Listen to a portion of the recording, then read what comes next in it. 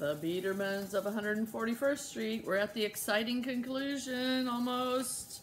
Okay, um, 20, chapter 23, but 24, um, remember they all got to um, open their Christmas presents, and Oliver did such a nice thing. Do you remember how he, uh, at first, he went and looked at all the presents, uh, the packages that his sisters and everybody had gotten him, and his presents, he realized were just yuck.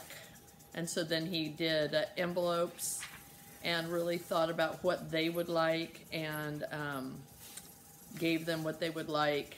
Um, helping his mother, looking at buttons with one of his sisters, not um, criticizing the cooking of the twins. And then, um, remember the dog uh, pulled um, Hyacinth up the stairs, and at the very end, uh, there was this note from Mr. Beiderman, please come visit me.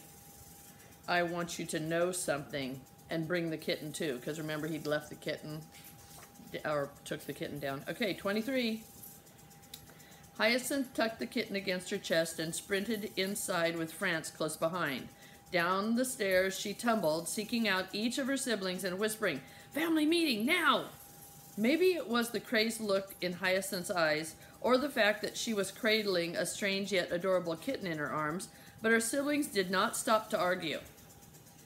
We're going to change out of our pajamas, Isa called down to her preoccupied parents as her siblings made a hasty exit up the stairs. What about breakfast? Papa called from behind the refrigerator door. No one responded. Hyacinth led her siblings out the first floor exit into the main hallway of the brownstone where the stairs rose to the other two apartments. Look what I found attached to the, to the kitten I gave to the Beiderman, Hyacinth said. She handed Oliver the card. You gave the Beiderman this kitten? Why on earth would you do that? asked Jessie, her eyes wide. Shush, Isa said to Jessie. Then she ordered Oliver to read the card. Oliver read it out loud, then started pacing back and forth. Oh man, oh man, what do you think he wants? Before anyone could answer, Isa caught sight of Laney. The littlest Van Beeker had taken it upon herself to go up the stairs, and she was already halfway between the second and third floors. Laney! They called, stumbling upstairs after her, but it was too late. She was pounding cheerfully on the door and calling out, Mr. Beiderman! We're here! We have your kitten! By the time the other kids caught up with her, the locks were already disengaging. The door opened and the Beiderman looked down at them. Hyacinth's first thought was that he didn't look half as werewolfish as he had when she dropped off the placemat. Her second thought was, I feel brave. Come in. The Beiderman stepped back and gestured inside. He wore black, but his hair was combed neatly, and he had shaved his beard. For a moment, no one moved. Then the kitten executed a graceful leap out of Hyacinth's arms and trotted inside, the tip of her tail flicking behind her. Please, the Beiderman said, please come in. Hyacinth stood up straight, channeling Hyacinth the Brave, and stepped inside with Franz at her heels. Oliver followed, his new blue knit hat with the fluorescent yellow tip trailing down his back. Laney entered next, followed by Jessie and Isa. Violin music was playing softly from a stereo in the corner. Isa's eyes widened when she realized it was the CD she had made for him with her own playing. The apartment was sparse. There was a dining room table for one, with a chair tucked into it, a worn sofa, a crooked side table, and two standing floor lamps. The Christmas tree Laney had picked out was displayed in the middle of the table, right in front of the placemat Hyacinth had made.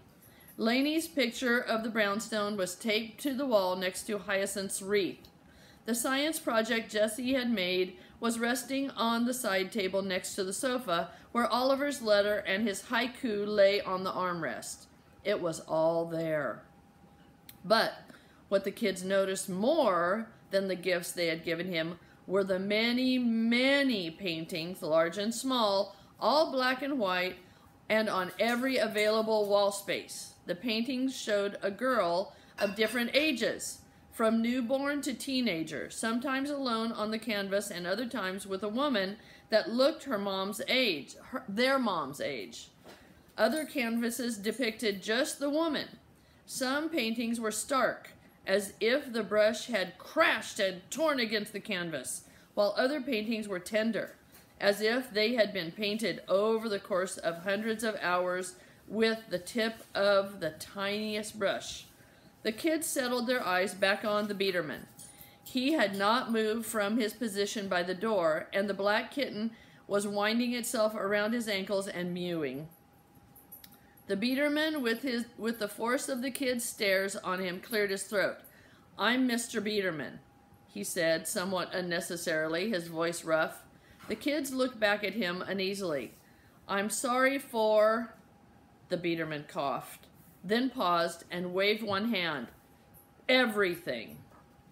None of the kids said anything. The Beidermans looked at Isa, then away again. Then he looked back at her. I'm sorry, about last night, about not renewing your lease. It's just that Mr. Beiderman stuttered to a stop. It's okay, Mr. Beiderman, said Isa. We know. We're sorry about your family. Mr. Beiderman swallowed. A few months ago, he said to Isa, you played Luciana's favorite song outside on the brownstone steps. It was too much for me. I thought it would be easier, he trailed off, not finishing the sentence. They stood there in silence. The only sound was the brownstone floors creaking when the kids shifted. Then Hyacinth spoke up. Did you make all those paintings? He nodded. You must miss them so much. Mr. Beiderman looked at her. I miss them every second of every day. Isa felt her heart pounding in her chest. Mr. Beiderman, she said, we would like to be your friends. That is, if it's not too hard to be with us. Laney walked over to her neighbor, and without hesitation, she hugged him, as only a four-year-old, a four and three-quarters-year-old can hug. Let's be friends, she said, her voice muffled against him.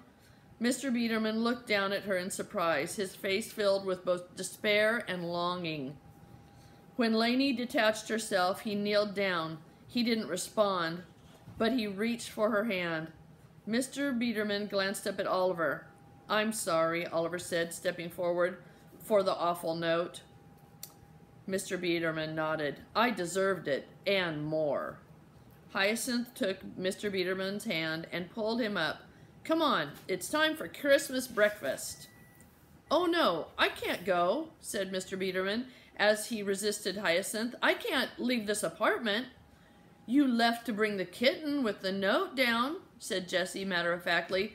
That was the one and only time, he replied. Not the only time, said Isa, helping Hyacinth lead him out the door. The first of many. Mama and Papa were waiting at the bottom of the apartment stairs by the kitchen when the kids came back to the apartment.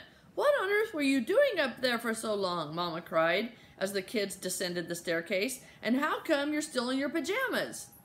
We can explain, said Jessie, but Mama was on a roll. The Castlemans have been here for ten minutes. Even Auntie Harrigan and Uncle Arthur are awake. Isa appeared leading a hesitant Mr. Beiderman down the stairs. Mama, we'd like to introduce you to Mr. Beiderman. Mama and Papa gaped as Mr. Beiderman emerged from behind the children. He maneuvered around the moving boxes stacked along the banister.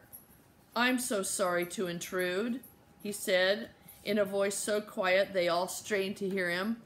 I was manhandled. Papa recovered first. No, no, he said weakly. Please come in. Um, Merry Christmas. He gestured vaguely to the Castlemans. Do you know the Castlemans? Hello, Mr. Beiderman said. Hello, they echoed back. Isa looked at her mother. Mama, can we get Mr. Beiderman something to eat? Oh, yes, Mama came out of her trance and bustled around, grabbing many bread items and placing them on, the plate, on a plate in an overflowing heap. He, she pushed it into Mr. Beiderman's arms, then asked, Coffee? Tea? Milk? Juice? Flat water? Sparkling? Hyacinth slipped in. Mama, we'll get him a drink. You help the Castlemans. The Castlemans were now in hushed conversation with Auntie Harrigan and did not look as if they needed assistance, but Mama raced over to them. Can I get you something to drink, Mr. Beiderman? Hyacinth asked her siblings hovering around Mr. Beiderman protectively. Water, please? Mr. Beiderman said faintly. She disappeared into the kitchen and returned with a glass of water. He took a sip, then looked at the Vanderbeeker kids. Even after I've been so terrible to you, you still want to live in the same building as me? The Vanderbeeker kids did not even dare to breathe as they nodded. Mr. Beiderman swallowed. I would like you to stay living here in the brownstone, he said, and then added hastily, if you would still like to. There was a brief pause, then joy burst forth and rang throughout the brownstone. Laney and Hyacinth jumped up and down and cheered, while Oliver pumped his arms in the air and shouted. Jessie and Isa threw their arms around each other. Mama and Papa hurried over. What on earth? exclaimed Mama. We can stay, we can stay, chanted Hyacinth. We don't have to move to Ottenville, yelled Oliver. I get to keep Mr. Van Houten as a violin teacher, exclaimed Isa. Mama and Papa looked wide-eyed at Mr. Beiderman. Please, I'd like you and your family to stay in the brownstone, Mr. Beiderman said. There was stunned silence, and then, Oh, thank you, thank you, cried Mama, enveloping in a spon him in a spontaneous hug. Oliver was afraid Mama would lift him off the ground with her enthusiasm. Okay, okay, said Papa, detaching Mama from Mr. Beiderman's neck. Then he put out his hand and shook Mr. Beiderman's. Thank you. This means so much to us. Will you visit me and play the violin? Mr. Beiderman asked Isa. Yes, she replied, if it's not too hard for you. Mr. Van Houten told me about the violin. Mr. Beiderman nodded. It was nice to see you, to hear it. it was nice to see it, to see, uh, to hear it sing again. He turned to Hyacinth. Will you teach me how to take care of a cat? Oh, yes, cried Hyacinth. I'll help too, said Laney. Laney, can you help me name it? Mr. Beiderman asked. Fluffy, Laney said promptly, or Cutie, or Princess Cutie. Let's think about it some more, suggested Mr. Beiderman. At that moment, Miss Josie and Mr. Jeet entered the apartment, and the kids rushed over to share the news. We're staying! We're staying! cried Hyacinth. Laney grabbed Miss Josie around the waist. We can be together forever! Oliver saw Mr. Jeet smile so big, it looked like someone had told him he'd won a million dollars. Is it true? Miss Josie said, bracing herself on M Mrs. Vanderbeeker's arm. Yes. Have you met Mr. Beiderman? asked Mamma. She dragged Miss Josie and Mr. Jeet to Mr. Beiderman and bustled off to get food for the new arrivals. The doorbell rang, and in came Aggie and her dad to say goodbye, only to realize that goodbyes were no longer necessary. Mr. Smiley got on his phone to notify the neighbors, and soon enough, a crowd of happy friends arrived at the Vanderbeekers' doorstep to celebrate. When Allegra flew in, decked in a flowing red dress with wide black ribbon tied around her waist, the first thing she did was embrace Isa and explain, exclaim, Now we have to find a guy to take you to the eighth grade dance. Already done, Isa said, smiling at Benny. Shush up, Allegra. Allegra, Allegra looked like she had just been given an early birthday present. That is so, so awesome! I can't wait to take tell Carlson. Benny, you better get Isa a corsage. Listen, at the florist on Lenox Avenue, they have this carnation color called amaranth pink. It's the color you need to get because it will go best with the color of her dress and her hair. Don't forget, amaranth pink. Oh, and you need to wear a suit, okay? No football jersey allowed. Benny looked down at his current outfit, a jersey and jeans. Then he looked at Isa in alarm. But Allegra wasn't done with Benny. Do you have a friend who can take Jessie? Never gonna happen, Jessie said, flicking the remains of her chocolate croissant at Allegra and hitting her right in the middle of her forehead. A crowd of neighbors, including Mr. Jones, the postman, and Mr. Ritchie, the Christmas tree guy, stopped in along with Mr. Van Houten, who pulled out his violin and started playing holiday music. The Vanderbeeker home was filled to capacity, with neighbors and friends all swarming in, a, in to congratulate and celebrate. Mr. Vanderbeeker, in the meantime, spent most of his time sitting on a stool in a sheltered corner of the kitchen, a location that granted him a perfect view of all the happenings around him, but protected him from the crush of people. Next to him was Oliver, immersed in his new books. Mr. Beiderman's cat, who Laney had already started calling Princess Cutie, was wrapping herself around his ankles. Isa, Jessie, and their friends stood in a group, laughing about who knows what. Franz turned in circles, attempting to remove a piece of red fabric tied in a jaunty bow around his neck. Laney crawled around the floor, traversing a path that made sense only to her. Uncle Arthur examined the hole in the ceiling that Papa had made during the great plumbing accident, shaking his head in disbelief.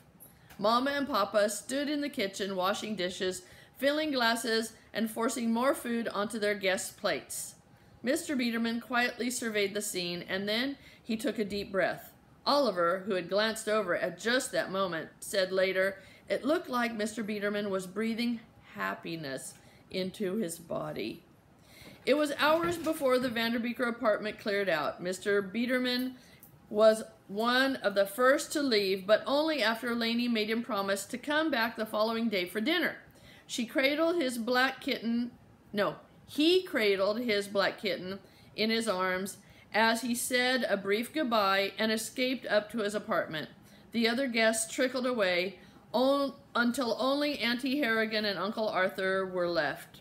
While Mama and Papa began cleaning up the apartment, the kids helped their aunt and uncle pack up, pack up.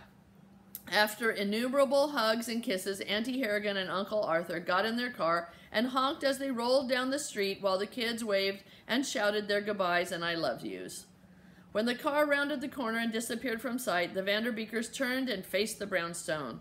I guess we should help clean up and start unpacking, Jessie commented. Let's start now, Oliver suggested. I'm ready. Isa held up a hand. Let's just wait a second. The kids stilled and drank in the sight of the brownstone, the twisting iron fence that surrounded it, the smooth red rock that made up the facade, the wide windows that winked in the sunlight. When they'd had their fill, the Vanderbeekers filed inside, the filed inside. The brownstone creaked as it settled more firmly into its foundation, wrapping the kids in warmth and love just as it had for so many years past and would now for so many years to come. Dun, dun, dun. Okay, there's a little bit more. It's called the epilogue.